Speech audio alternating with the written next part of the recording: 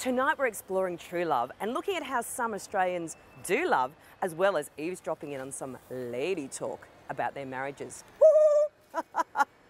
also, I'm going to hit the streets and find out what love is available for a bride like me.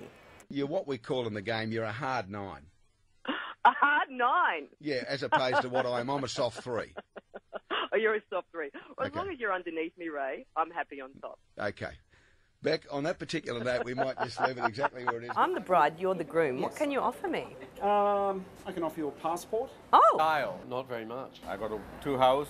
two houses. Yeah. Pain and heartache. No, no, the dog's the groom. Very small accommodations in the closet size Ooh. room with six other people. Oh, trusted by name, trusted by nature. Somehow I don't trust you. You know this Viagra? Oh, yes. Yes. Have you tried it? No, but I'd like to. You've heard good things about it. it was in a small apartment. You're like, You did. okay, got to take the kids to school at eight fifteen. It's eight Yeah. o'clock. It's on. Come on, let's go in the bubble. okay, girls, you're nearly ready.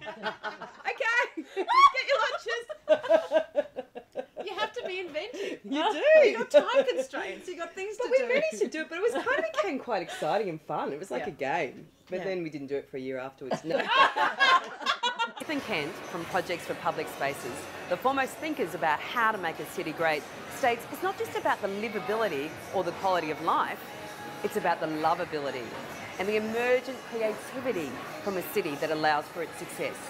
I find this notion incredibly seductive and inspiring, and so I've decided to create a great big fat pash mob right in the centre of town.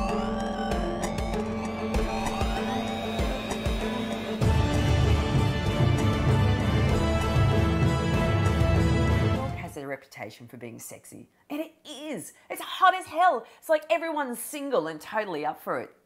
Now, obviously, Love TV was in the middle of the day in the centre of town, so it had a very G rating. But it still didn't stop a few steamy moments happening in the old clam. Go.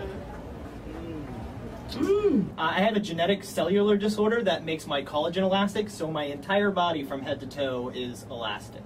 Wow, does that make you an exceptional lover as Oh well? yeah. Oh yeah.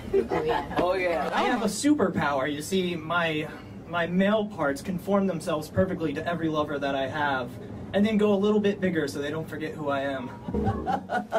Oh. oh, wow. Just a little taste. Right, I see. Okay. I'm getting a bit excited now. Oh my God. Me too. It's fun here. Hooray! It's all okay. It's not a skin cancer. I'm going to be all right. And the thing is that you just have to get checkups and you have to be really careful. You know, protect your skin, be responsible. But I am so relieved that I do not have the skin cancer like my dad. And I now understand that the right treatments are available too if I did. So it's a great day. Thank you. Myth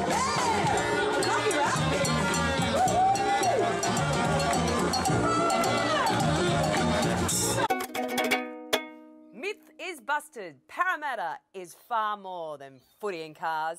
I mean, there's still a few bogans, but that's what keeps us entertained. Thanks for joining me on Bec Mac, and we'll be back with lots more love,